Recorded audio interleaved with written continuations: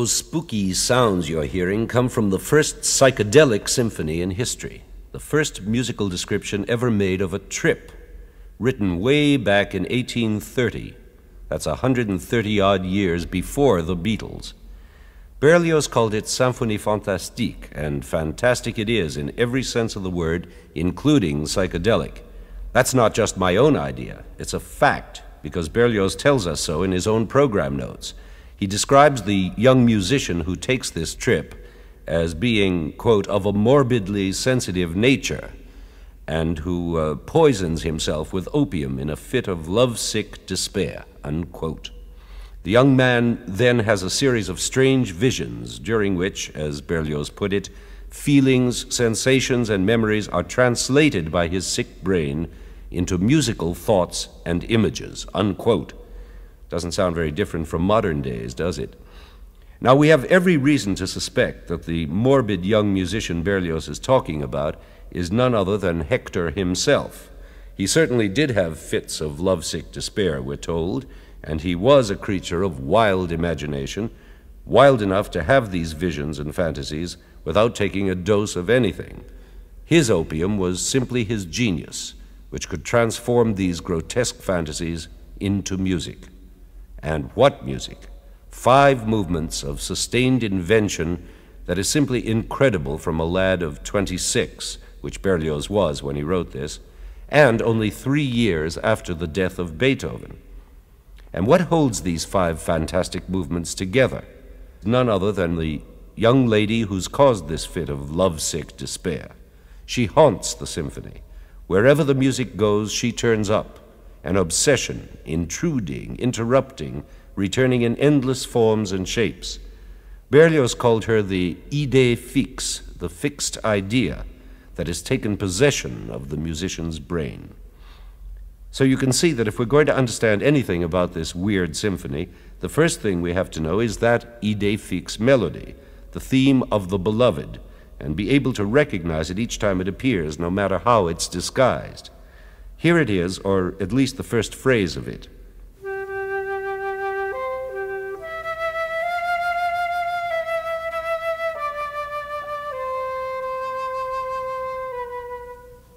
Can you hear the yearning in that melody, the rising shape at the beginning?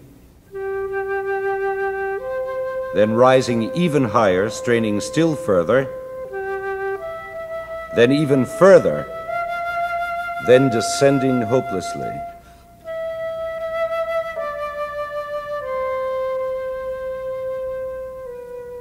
Isn't that a perfect musical picture of lovesick longing? Now listen to it again, this time letting it continue into its second phrase, then its third, fourth, and so on, each time rising and straining further and further, and each time again falling back into despair.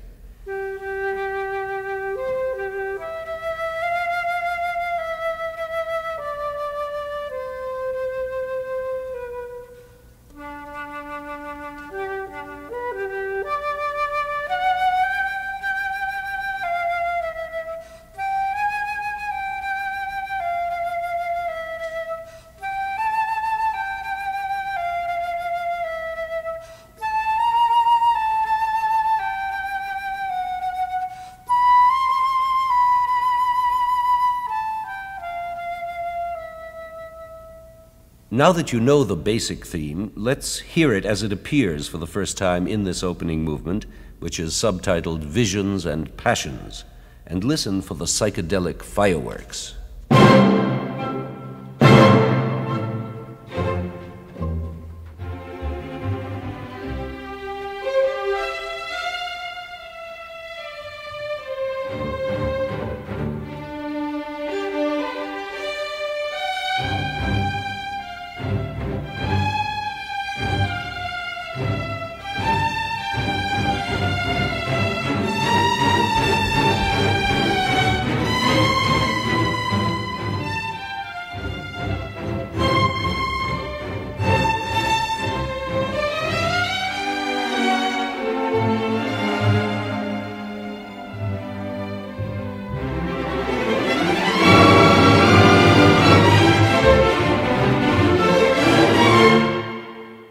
Get what I meant by psychedelic fireworks? Those sudden flashes and changes of color? The dazzling unexpectedness of those dynamic changes from loud to soft and back again? There were dozens of them. And then when the theme came in, did you hear how those rising and surging phrases are each written with its own little burst of crescendo? And did you notice how Berlioz accompanies his melody? Very strangely indeed with no accompaniment at all under the melody, but between the phrases there are those jerky little figures in the strings, tickum, tickum, tickum, and so uneven, always popping in where you don't expect them, tickum, tickum, tickum, tickum. And then the way the tempo is always changing, charging breathlessly ahead, then slowing up, then suddenly in time again, suddenly slowing up again. You never know what's coming. I tell you, you can become a nervous wreck playing this symphony. But then, that's what it is a portrait of a nervous wreck.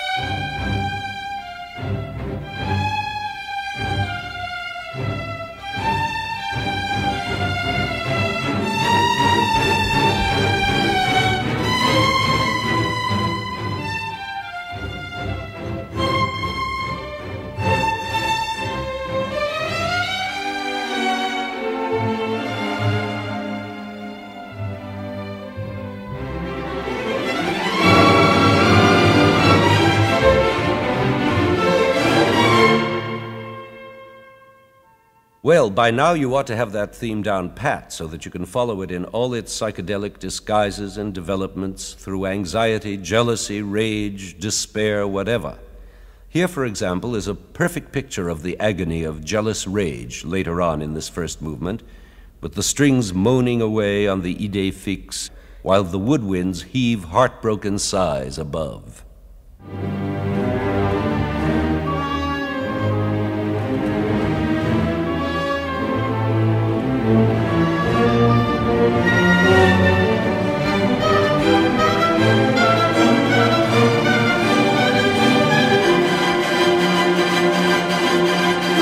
Did you hear how that worked up into a climax of anguish? But if you think that was anguished, listen to how it goes on, with the sighs growing into howls and the strings rising to hysterical shrieks.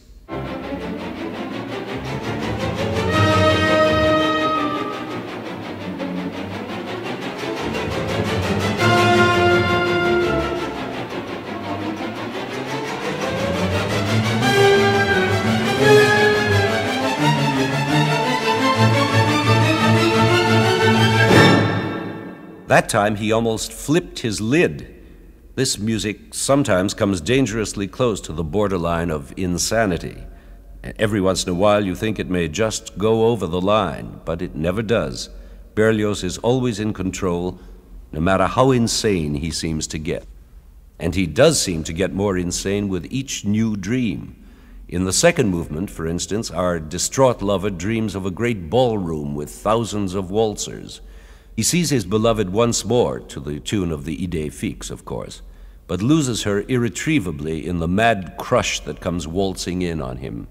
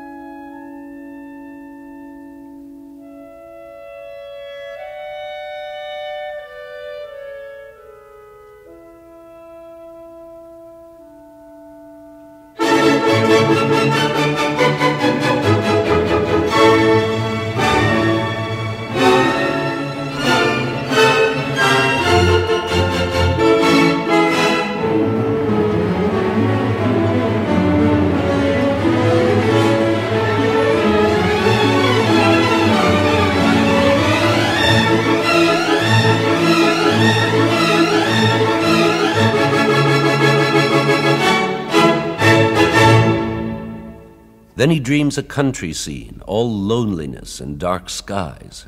Whereupon Guess Who appears, taunting him with her idée fixe melody, a wolf girl in sheep's clothing.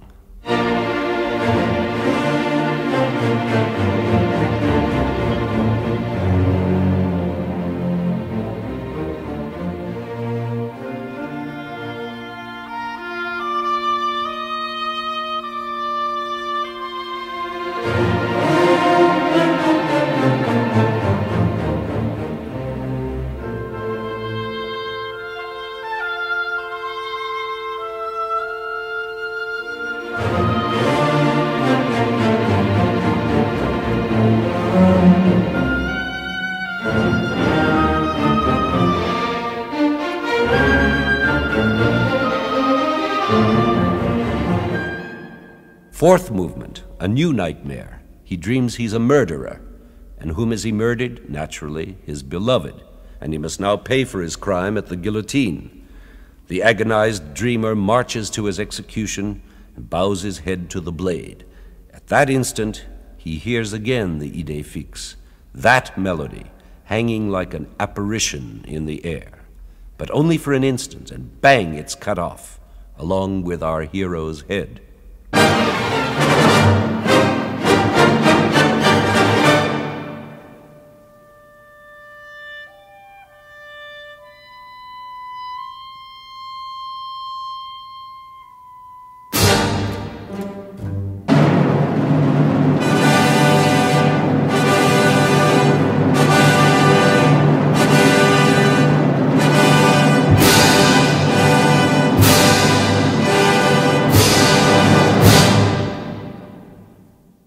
There's a fifth and final dream which tops the whole trip the nightmare of the witch's Sabbath. Now he's dreaming he's dead. In fact, he's attending his own funeral. But this is no solemn funeral. There are no holy words, no prayers. There are only the grisly shrieks of witches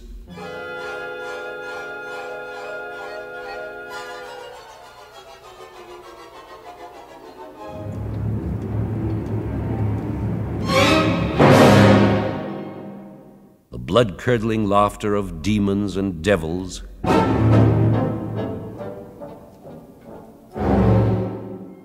The diabolical dancing of Halloween hags and grinning monsters.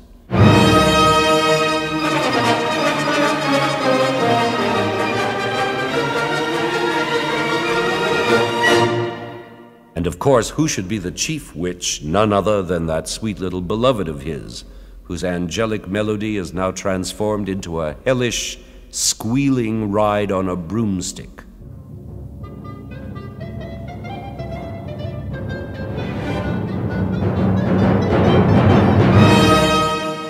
Then there are spine chilling funeral bells.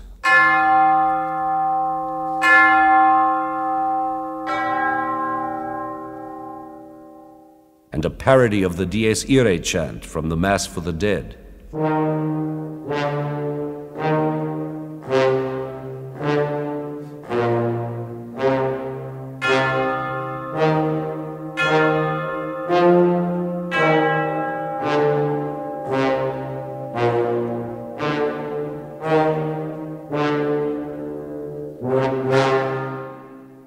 Then there's the writhing of evil snakes and the rattling of skeleton bones.